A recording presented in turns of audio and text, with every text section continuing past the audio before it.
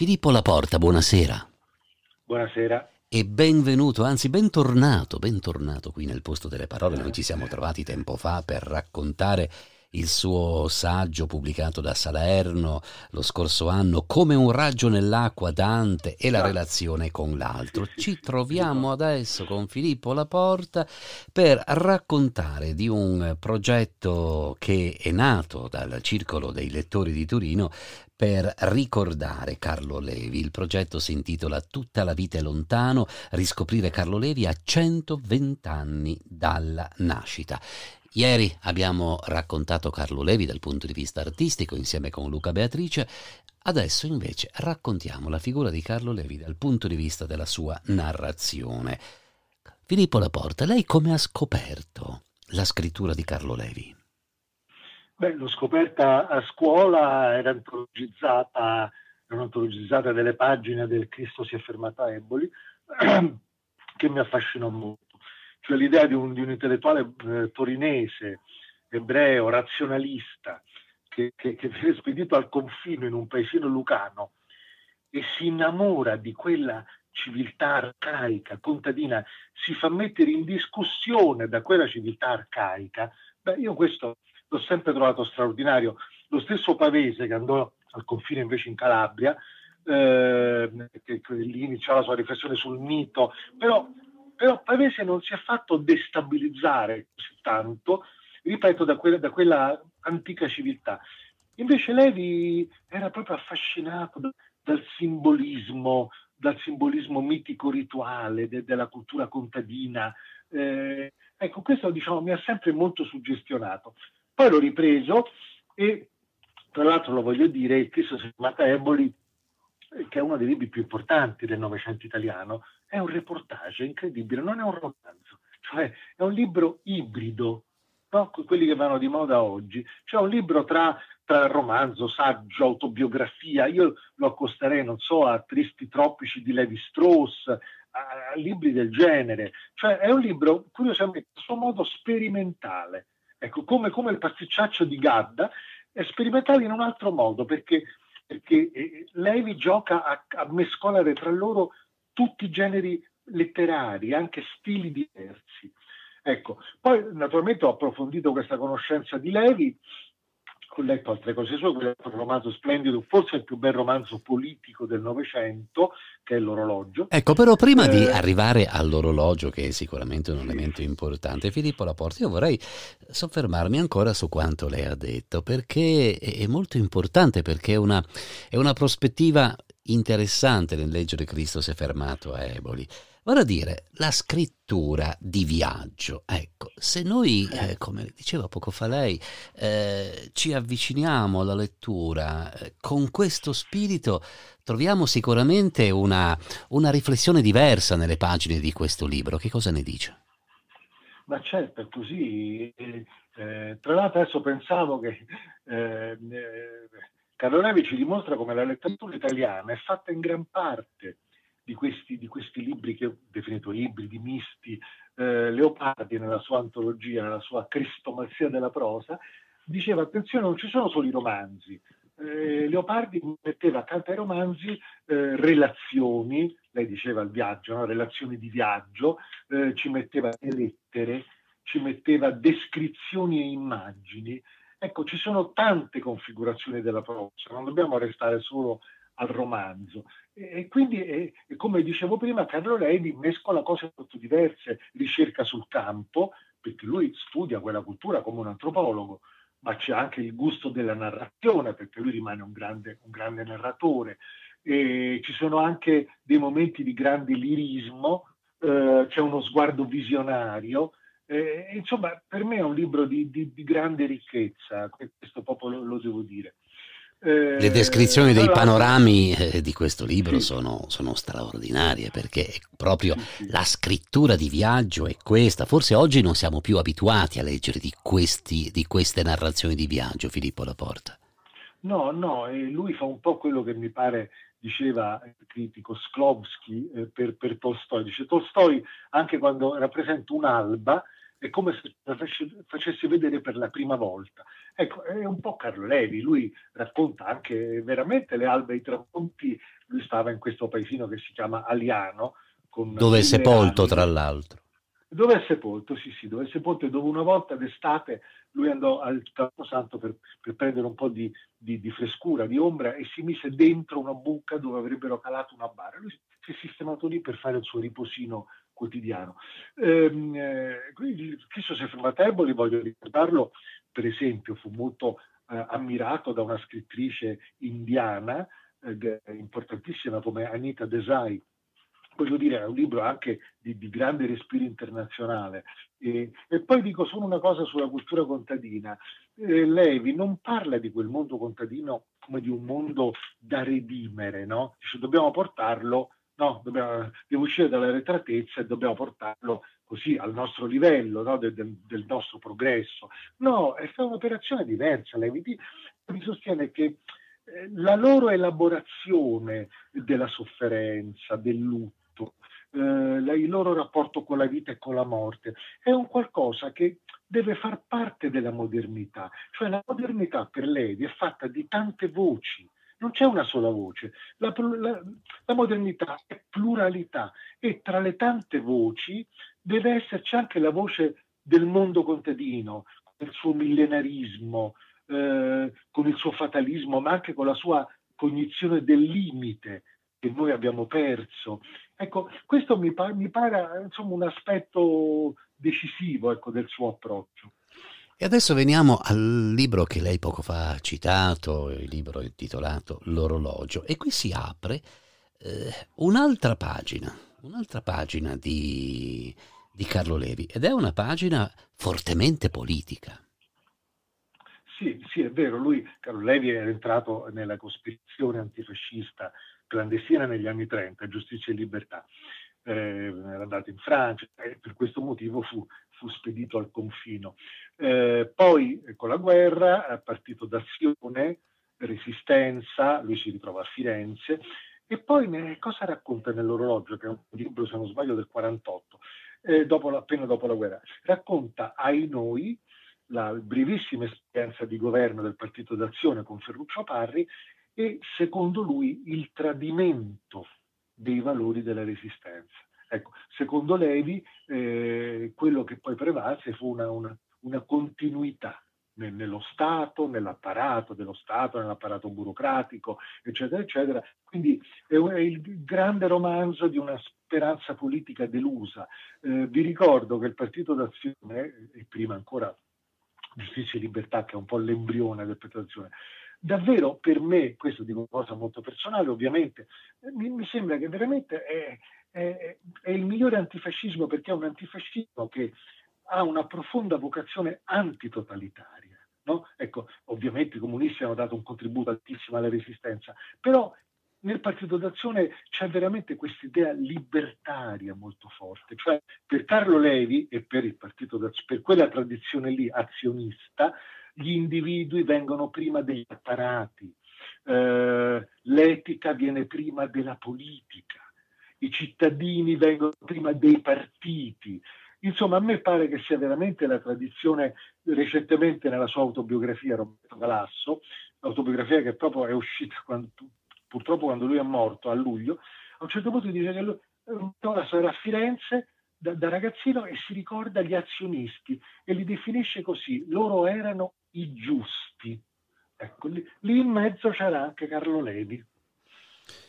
Eh sì, in mezzo c'era anche Carlo Levi e Carlo Levi è questo personaggio straordinario, plurale e nello stesso tempo molto singolare, eh, scrittore, poeta, eh, artista, eh, veramente ha, ha saputo veramente coniugare la parola, la narrazione, il gesto artistico, una forma sicuramente molto molto personale e tuttavia senza voler mai strizzare l'occhio a nessuna situazione, ma tirando dritto per il suo, per il suo, per il, per il suo ideale, il suo gusto di essere vero nei confronti della vita. Lei poco fa parlava di, sua, di questo suo rapporto con l'etica, d'altra parte nell'orologio, se ben ricordo, Carlo Levi racconta anche quella la frattura della società italiana. E se prima dicevamo Filippo Laporta che Cristo si è fermato a Eboli è una scrittura di viaggio, altrettanto si potrebbe dire, mi corregga se sbaglio, di, del, del, libro L'orologio, qui la, la, il viaggio è un viaggio dentro l'anima, dentro, dentro lo sguardo di ognuno, proprio per, per andare alla ricerca di qualcosa per, da raccontare in una maniera eh, utile allo spirito culturale e soprattutto allo spirito politico in questo libro. Sì, sì, è vero che è un viaggio, a parte che nel libro c'è un viaggio proprio fisico, perché con una macchina certo. presa in affitto lui va a Napoli ed è un viaggio avventurosissimo tra Roma e Napoli, cioè ci mette una giornata intera, c'è il pericolo di, di, di incontrare i briganti, sembra, sembra, Ombre Rosse di John Ford, sembra un viaggio con la dirigenza. Eh, beh, è un viaggio anche metaforico, certamente, e in quel libro c'è la famosa distinzione, per cui lei giustamente ha parlato di spaccatura della società. Lui dice che nella società italiana ci sono due grandi categorie, due grandi famiglie. Da una parte ci sono i Luigini, dal nome di quello che era stato il podestà fascista di Aliano, e dall'altra, dall'altra ci sono i contadini, che attenzione non sono solo i contadini, i contadini per Levi va inteso in senso metaforico. Allora, i luigini sono quelli che, a cui piace comandare e obbedire. Questa è la tipologia dei luigini. Mentre i contadini amano quello che fanno. Quindi, quindi voglio dire da questo punto di vista anche un imprenditore per, per Levi può, può far parte di questa metafora dei contadini. I contadini amano il proprio lavoro e cercano di farlo bene, perché da lì nasce l'etica. No? Da, da, nasce dall'etica, da, diciamo dal senso, dalla dignità del lavoro ben fatto. Ecco, questa distinzione tra lugini e contadini, io direi che però non va intesa in senso rigido, questa è la mia lettura ovviamente, secondo me attraversa ciascuno di noi. Andrei a questa conclusione su questa metafora. Eh, in ognuno di noi c'è una parte che appunto a cui piace soltanto comandare e obbedire e c'è una parte invece che, a cui, che, come dicevo, esprime un amore per quello che fa, insomma un'adesione a, a quello che fa. Ecco, quest, questa è una distinzione che ogni tanto dovremmo, dovremmo avere a mente. Però oggi come oggi, guardando anche la situazione in cui siamo immersi dal punto di vista politico e non solo, eh, pensando a Carlo Levi che, che, ha scritto, per esempio parlavamo del libro L'orologio, quando lui ripensa ai fondamenti stessi dell'idea di Stato e, e, e del rapporto con l'individuo. Questo mi sembra che oggi eh, sia, sia qualcosa che, che si sta cercando e come queste parole, questi pensieri nella prospettiva del tempo oggi ci parlano. Eh sì, eh, l'idea dell'individuo, diciamo che dal punto di vista politico, eh, eh, si, potrebbe dire, si, potrebbe dire, che per, per Levi c'è una centralità della categoria di autonomia, l'autonomia dell'individuo. Ovviamente è un'autonomia responsabile perché l'individuo è sempre immerso in una comunità, no? questo, questo, lo sa bene Levi, ecco. però in lui c'è il primato appunto dell'individuo, della coscienza, della coscienza individuale. In questo senso allora prima ho fatto un elogio de, de, della tradizione azionista, perché in fondo che cosa è questa tradizione? È quella, quella benedetta terza forza che in Italia non ha mai avuto, possiamo dirlo, tanto spazio, insomma era un po' chiusa tra le, tra le due chiese simmetriche, la Chiesa cattolica e la Chiesa comunista, Infatti nel, a un certo punto nel, nell'orologio eh, Levi descrive Ferruccio parli in Parlamento tra De Gasperi e Togliatti, dice sembra Pinocchio tra il gatto e la volpe, immagine meravigliosa. Ecco, quindi si parla di quella terza forza che da noi, ripeto, ha sempre avuto eh, scarsa rappresentanza politica ed è incardinata su questo individuo. L'individuo per Levi non è il borghese eh, egoista, no, l'individuo è appunto l'individuo capace di dire di no, capace di dire no al potere e l'individuo invece capace di dire sì alla vita, alla vita nella sua pienezza.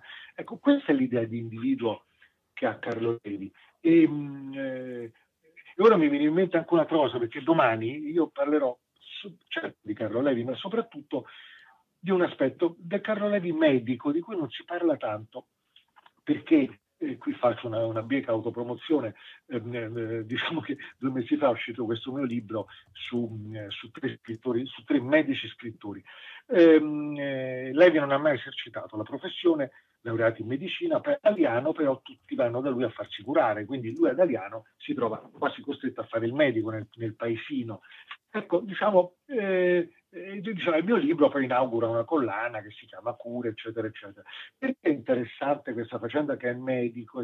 Perché eh, Carlo Levi, l'ho detto prima, certo, è tutto dalla parte della civiltà contadina, però non è un critico della modernità tipo, no, adesso mi vengono in mente pensatori reazionari come Mircea Eliade, René Guénon, eh, grandi, grandi territori, ma, ma fondamentalmente reazionari. No, Carlo Levi da una parte è affascinato, ripeto, dai miti della cultura contadina, ma dall'altra parte è un medico. Quindi a un certo punto eh, in una rivista fa un ritratto veramente pieno, un ritratto commosso di Spallanzani, di Lazzaro Spallanzani, che è stato un grande scienziato che ha scoperto delle cose importantissime sul processo della digestione. Ecco, bisog- quando parliamo di Levi, della sua opera, bisognerebbe sempre tenere presente questi due elementi. Eh, come dire, contadino e scienziato. Eh, eh, da una parte eh, lui c'è una pagina bellissima su, su, sulle streghe e su tutto l'irrazionale, sui monachicchi che sono gli ignomi delle campagne, però poi lei è uno che si batte anche per ampliare la democrazia, per i diritti civili. Ecco, do- dovremmo sempre tenere, tenere insieme queste due anime dello scrittore. Lei tra l'altro sarà ospite anche per quanto riguarda questo eh, ricordo questo progetto dedicato a Carlo Levi venerdì 11 insieme con Luca Beatrice della Löwenthal sull'argomento Poesia e verità, un viaggio nell'opera di Carlo Levi. Ricordo che tutta la vita è lontano riscoprire Carlo Levi a 120 anni dalla nascita, è nato da un'idea del circolo dei lettori in collaborazione con eh, diversi enti culturali di Torino e non solo. Ma prima di salutarci, Filippo Laporta, qual è il libro che le fa compagnia in questi giorni?